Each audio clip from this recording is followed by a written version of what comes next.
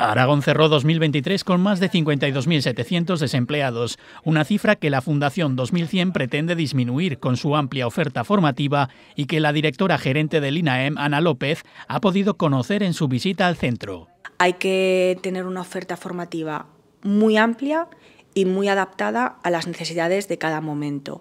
Eh, para nosotros es básico que las políticas activas de empleo todas vayan interrelacionadas entre sí por un lado, la orientación a las personas eh, trabajadoras ocupadas y desempleadas, por el otro, la intermediación y, por último, la promoción de empleo entre las empresas.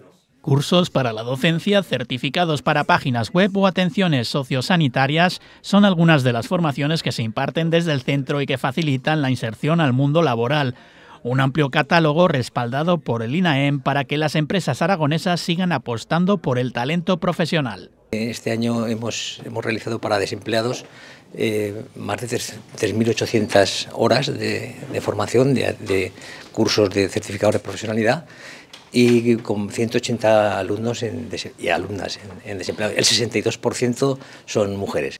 Con más de tres décadas de formación y una tasa del 20% de inserción, la Fundación 2100 sigue siendo uno de los centros de excelencia para la formación de empleados y desempleados mejor posicionado de Aragón.